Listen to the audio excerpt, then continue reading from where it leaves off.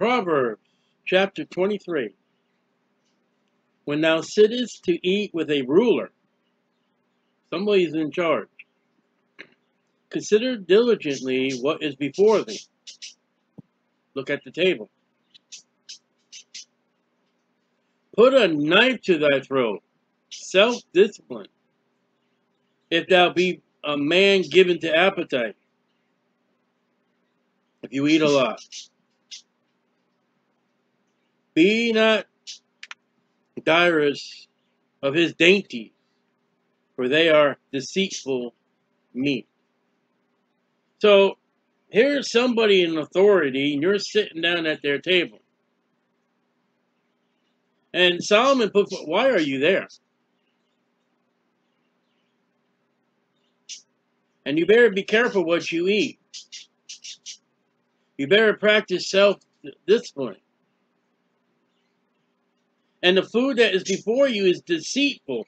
Dainties, that's little, you know, pastries, that's little, you know, food with little, you know, uh, wrappers and fancy, you know, colors and and there's a table spread. But there's other motives of that guy having you there. You be careful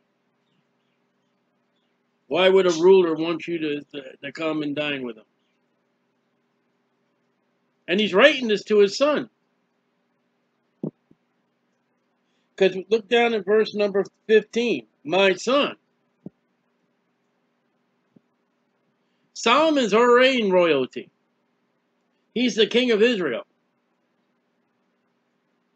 And he says, if another ruler comes, my son, you better be very careful because you know what? He may be out to catch you. He may feed you and feed you and feed you, then he'll put the hook in you. You know, you can fish all day and worms after worms after worms, and boom, that one time you got the fish. Labor not to be rich. So if Solomon writes, labor not to be rich, don't gamble to be rich. Don't set thy ways of to be rich. Rich is not always cut out to be. Cease from thy own wisdom. Stop thinking you know it all and get counsel, get advice, get other authority. You don't know it all. Wilt thou set thy eyes upon that which is not? For riches certainly make themselves wings. They fly away as an eagle towards heaven. I mean, have you ever seen the picture of a wallet or money with, with wings and they fly off? That comes out of the Bible. You know, my money says one thing, it says buy, comes out of a Bible. He says, when it comes to money, why reach out and get something that ain't going to do you no good, ain't going to do you no bother? You know the most fanciest, expensive food ever ends up in the same place that toast ends up. Ends up in the in the toilet, in the outhouse, in the sewer. And a lot of times, some of the food just were very unhealthy for you. Things you buy, oh, whoopee doo, you just wasted money. Eat thou not the bread of him that has an evil eye. All right, we have a ruler, verses 1 through 3. Now, here's a guy with an evil eye. It's, he's just wicked. Neither desire his dainty meat. Verse 3, he's got dainties, plural. This guy, he's got, you know, got the real fancy stuff. For as he thinketh in his heart, so is he evil. Eat and drink, saith he to thee, but his heart is not with thee. The morsel which thou hast eaten thou shalt vomit up and lose thy sweet words.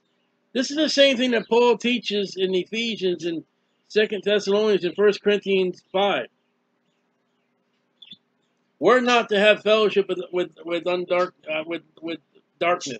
We're not to go fellowship with the world.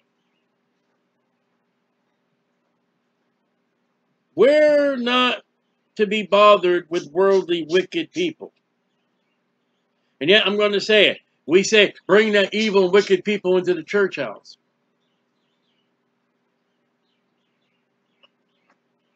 Solomon says, no. Don't eat at the table of a man that's evil.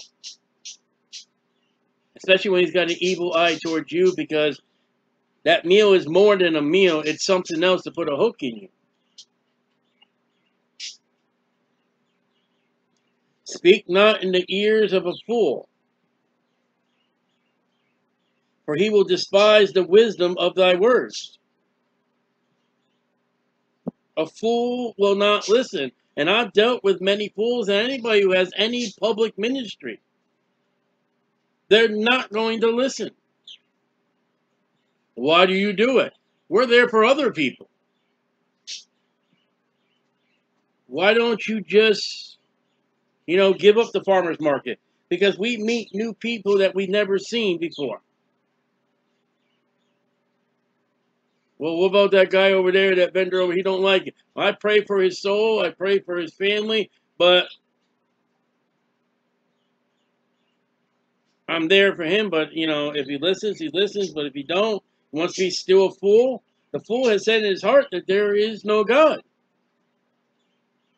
So you can talk to an atheist around and round and round and round and round and round. You can let your light shine. You can let your salt and all that. The guy's a fool. He's not going to listen. Move on. Remove not the old landmark. And we saw that in verse 28 of 20, chapter 22. Remove not the ancient landmark. Those marks in the land of Israel, that's what we're talking about. We're not talking about anywhere else but Israel, king of, Judah. Those old landmarks were set forth in the book of Judge, uh, Joshua. Israel's not to break them. Ezekiel has set forth the landmarks of the of the millennial land under Jesus Christ. Don't move them. Enter not into the fields of the fatherless. That's to dispossess. That's to take advantage of. That's an eminent domain. That's you know go in there and, and take all his crops, take whatever he had because because we saw that yesterday. Uh, verse twenty two. Rob not the poor because he's poor. Well, he, he can't do no. He ain't got no father. He ain't got. So we're just gonna go in there and do whatever we want to do. Bible says no. God, because God is watching. For their Redeemer, the fatherless, is mighty, and shall plead their cause with thee. You go and afflict the fatherless, the widows, the poor. You wait till God comes calling the day of reckoning. And I gotta say, well, you know, I know this rich man, I know this president, you know, he died, he died fair and all that. Death ain't it. Then there's judgment. The Bible says, prepare to meet thy God. Saved or lost.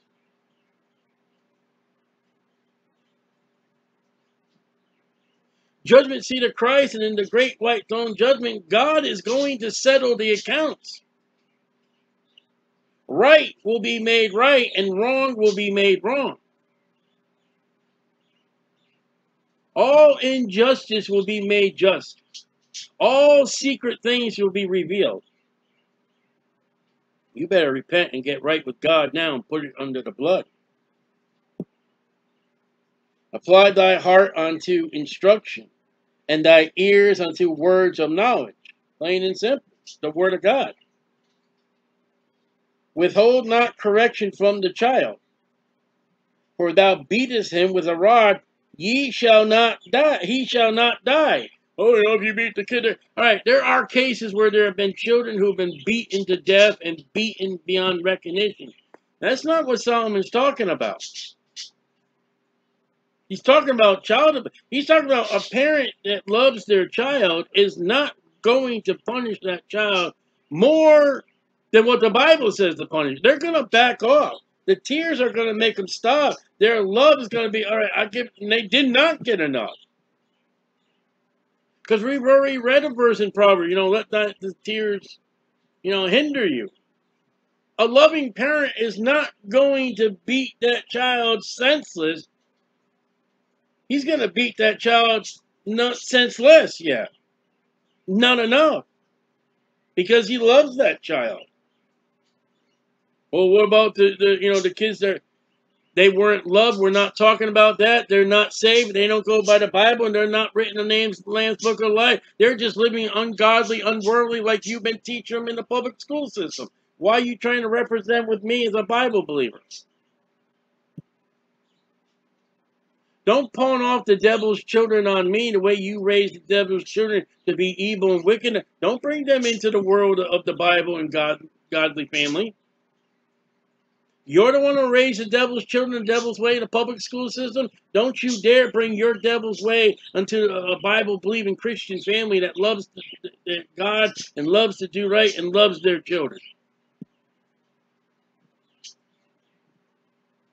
You don't want to crack out there. You want to give him a little kiss on the forehead and all that. The Bible says use the rod. The Bible says if you love me, you'll love your children. If you love me, you'll love your wife. I'm talking about family. I'm not talking about correction. I'm just saying you will love your family. You won't discipline that child too long. Look what he said. Thou shalt beat him with a rod. You don't slap him. You don't get a belt. A rod. Doesn't say doesn't say belt. Pain is for learning. Pain is for medical healing. Thou shalt beat him with a rod, and shalt deliver his soul from hell. So why are all the children hell-bound sinners, wicked, and don't listen to God? Well, that, you brought them outside with the word of God. My son, and we're back to Solomon writing to his children, Rehoboam, and God writing to us. If thy heart be wise, my heart, the Father's heart, shall rejoice. Even mine. Listen, if you're a wise son, man, I am I am happy. Well done. This is my beloved son, who I am well pleased. Hear ye him. That comes from Proverbs 23, 15. Yea, my reins shall rejoice. That what that's what keeps me. Shall rejoice. And when thy lips speak right things, that's my son is doing right. My child is doing right. I'm a happy father. Let not thy heart envy sinners. Get away from envy. Envy is a, is a, is a weed that has a deep root that is hard to unroot once you get it, and it usually gets worse and worse. I had envy one time, and it, it was just, I don't have it anymore, but it, that was a difficult battle in prayer. And don't envy see Psalm 73, 1 through 6 and 11 through 17 about envy.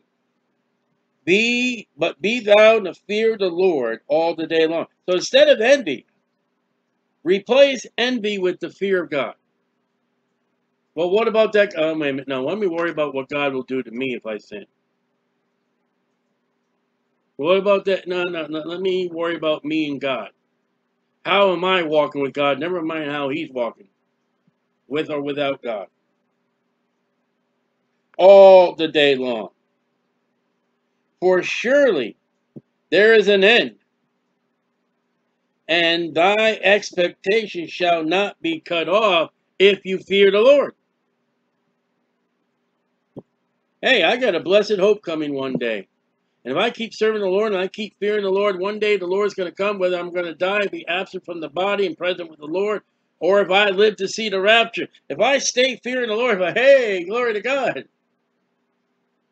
But if I backslide and I go against God and I go after the world and I go after the flesh and I go after the way of sinner, the day I see Christ, I, am not going to lose my soul, but I'm going to have a little fear ap- after I see, okay, what's he going to be upset with me about? Better fear the Lord now before you die than fear the Lord after you die. And we're going to stop right there.